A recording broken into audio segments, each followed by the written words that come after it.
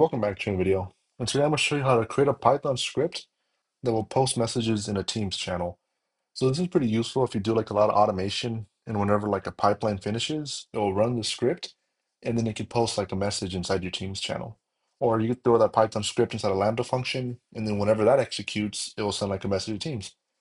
So here I created a sample team called Ruben Team and the channel will be called just general. You used to be able to do this using like connectors and like the webhook, but I think they're removing like functionality for new like um, instances of that.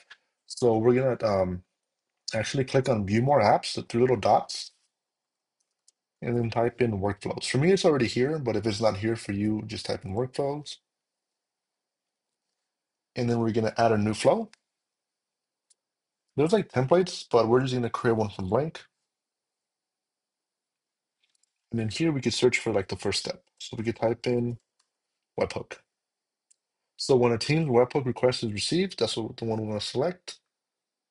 I'm gonna select anyone for this tutorial. Here's gonna be the actual URL. It's not generated yet, but as soon as we save this, it'll be generated. So whenever we receive a webhook request, we want to do something. And we want to do post teams, post teams message in a chatter channel. So whenever the re the request is received, the next step will be to post the message.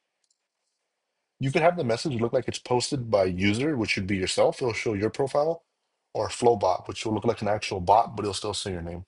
So I'm gonna do Flowbot for this example. and you can select where you want to post it. For me, I'm gonna post it in a channel,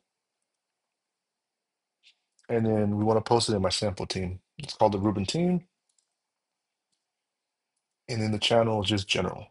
And you can have it just be like a static message. So whenever Python sends a request over, it will just post message, but that's not as cool.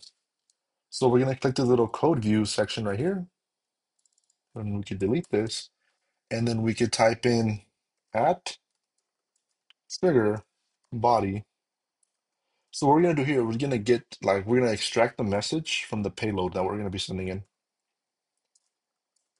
We're gonna do add trigger body question mark message. I'll put the actual like um this in the description. So one thing that's kind of weird about this, if you just have it like this, you just type it out, it'll actually send this as plain text. But if you cut it and then paste it back in, it'll send it as a Teams message. You can see like the Teams like message logo. So all of that looks good. We cut and then we paste it back in. All of that looks good, and then we'll save it. And then once this is done saving, we'll actually get the URL. So the HTTP post URL, copy that guy. It's copied. And then we can actually open up code, uh, our code editor, just VS Code. I have a script called teams.py. I'm importing requests and JSON because we're going to be using these. I didn't have requests installed because this is like my personal laptop. So I did pip3 install requests. Okay. So now we can actually create our, our Python like a script that will actually send a Teams message. So we could define like a uh, Python function. We could call it send teams message. And then here we could pass in a message of type string. Okay. So we need to define the webhook URL. We could just call it uh, webhook. And that's the actual URL. And then we have to define our payload. We could set payload equal to, I probably should have had this typed out already, but uh, we could do it together for the video. It'll actually be the message itself. Okay. And then we have to send in our headers, which will be the pretty much the same um, syntax as the payload. Let me just be sure I type this in right first chance or first try.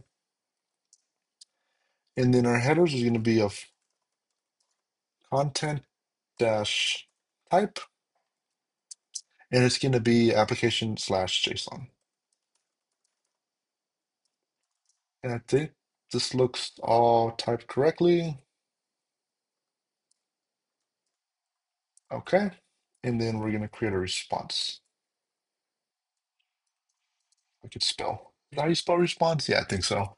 And then we'll set that equal to requests dot post. And then we'll send in our webhook along with our headers, which we just called headers, which makes it easy, along with our data, which equals JSON dot dumps. And then in here, we'll send in our payload.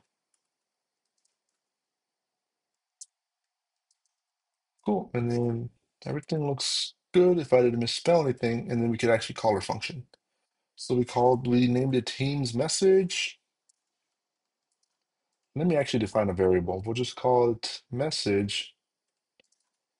And then we'll set it equal to my name is Ruben. And then we'll pass in the message. And if all this is correct, it should just post this Teams message. It should post this message inside of Teams. So I'll run this Python file. It looks promising. And then we should open up Teams again and go to our team. And as we can see here, it posted it Ruben Ortega via workflows. It looks like it's a bot. And it'll say, My name is Ruben. And then we could play a little bit, play a little bit more with it. We could say, Hello from Python. I never spelled Python correctly, so let's see if I spelled it right this time. And then we go in our Python file. And if we open up Teams, it should say hello from Python.